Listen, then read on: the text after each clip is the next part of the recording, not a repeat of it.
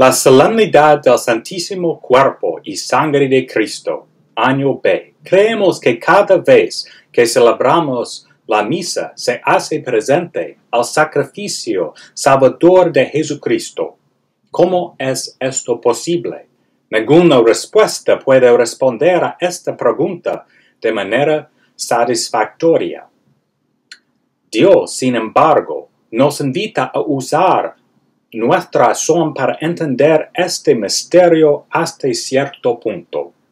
Como comenta Bram Petrie, la ascensión de Cristo al cielo ayuda a explicar la celebración de la misa como una representación del único sacrificio salvador de Jesús en la cruz. Después de que Jesús fue crucificado, él resucitó al tercer día y luego Cuarenta días después, Jesús ascendió en su cuerpo glorificado al cielo. El cuerpo glorificado de Jesús todavía llevaba las heridas de su pasión. En el cielo Jesús, el sumo sacerdote, ofrece su sacrificio de amor misericordioso al Padre en el amor del Espíritu Santo, rodeado de coros y santos angélicos. ¿Dónde está el cielo, con respecto al tiempo? El cielo no puede estar en el tiempo porque el cielo es el reino divino que trasciende el tiempo.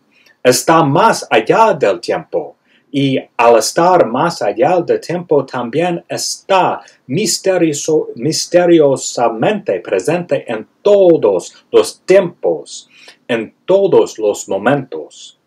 Al ascender al cielo, el reino más allá del tiempo, Jesús trajo el sacrificio de la cruz al reino de, la atemporalidad, permitiendo así que su único sacrificio perfecto estuviera disponible para todos los tiempos.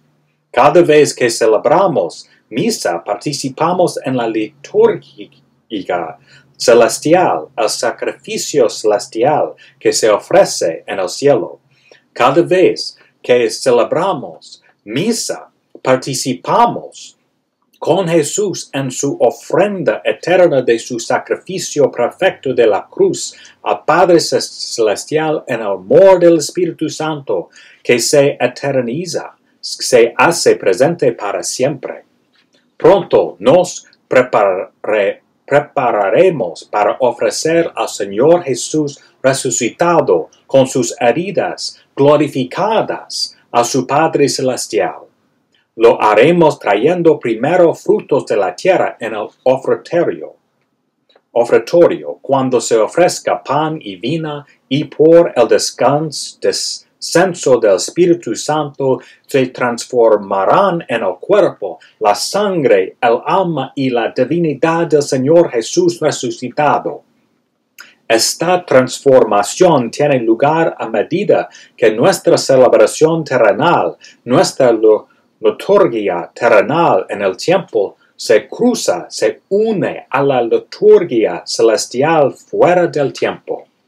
Junto con el pan y el vino estamos invitados a ofrecernos para que nuestros muchos deseos se formen por el amor perfecto y sacrificial verdadero de Jesús, a medida que permitimos que nuestros deseos sean formados por el amor sacrificial perfecto de Jesús.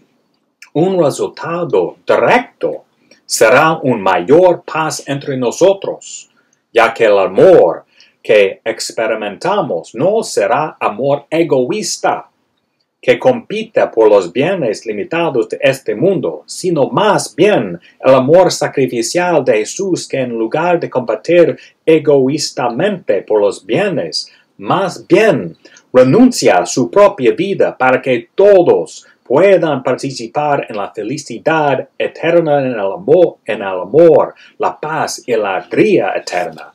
Que Dios le bendiga.